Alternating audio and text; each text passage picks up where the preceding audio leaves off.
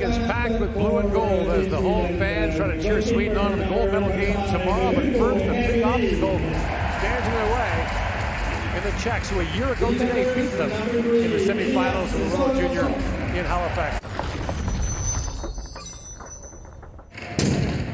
Famously did not score in the gold, but turned out to be the gold medal deciding game against Canada at Saskatoon in 1991.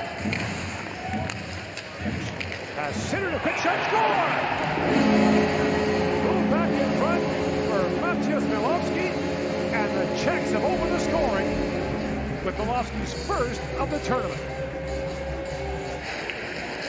Back at the point. This thing should score!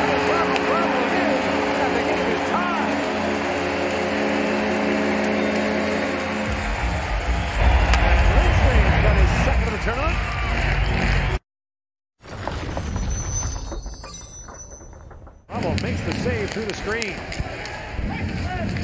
Better down in front of the net. Salomonsson shoots, goes off a skating line. Actually might have hit the hand of Perchik.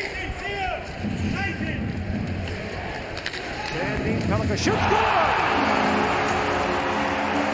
Another long one over the glove of Ramo, and it's 2-1 Sweden.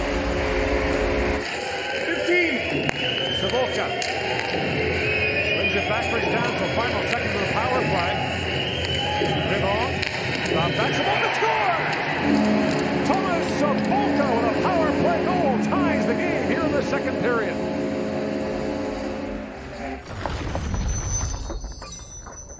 Galvas moves in, drops that back, and the rolling puck knocked away by Lindstein.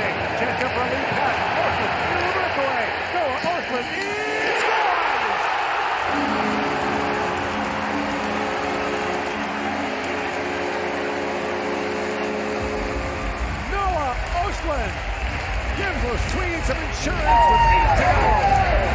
For Detroit and their prospect group. Stolen now by Stenberg. Drops it off. Here comes Östlund.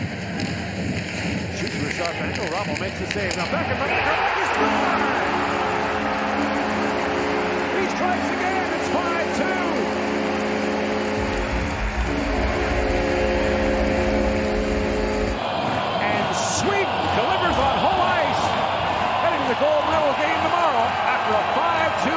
Czechia.